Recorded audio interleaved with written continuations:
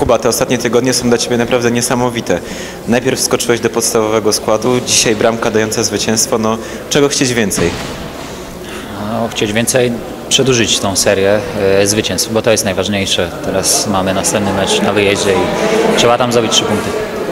To była dla Ciebie taka chyba lekcja cierpliwości, ale w końcu dostałeś za nią nagrodę i wskoczyłeś do podstawowego składu. E, No tak, każdy to powtarza właśnie o tej mojej cierpliwości. No, rzeczywiście długo musiałem czekać na tą szansę. Mam nadzieję, że, że ten skład utrzymam na dłużej i będę mógł występować w pierwszym składzie.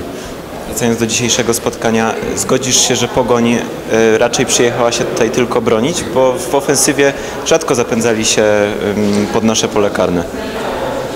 No nie wiem, czy tylko chcieli się bronić. Może po prostu e, my dobrze broniliśmy ich ataki.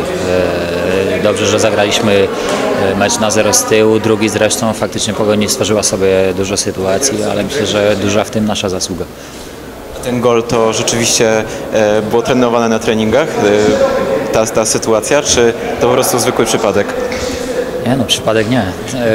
Była trenowana, ale krótko, no bo też ja dużo nie gram w tym pierwszym składzie jak na razie i, i w zasadzie mieliśmy tylko dwa dni stałych fragmentów przed meczem, w których uczestniczyłem, ofensywnych. E, No i ciężko było tutaj coś wypracować.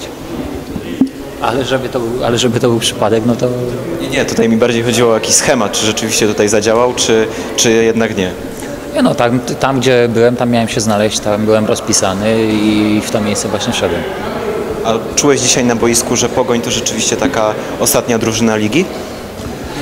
Trener uczulo nas y, przed meczem, żebyśmy właśnie tak nie podchodzili. E, Cały tydzień nam powtarzał, że Pogoń e, to drużyna, która, zresztą słusznie też się z tym zgadzam, że to jest drużyna, która ma potencjał na dużo wyższe miejsce w tabeli i jeżeli tak będziemy patrzeć, że to jest drużyna, która jest na ostatnim miejscu, to możemy źle skończyć.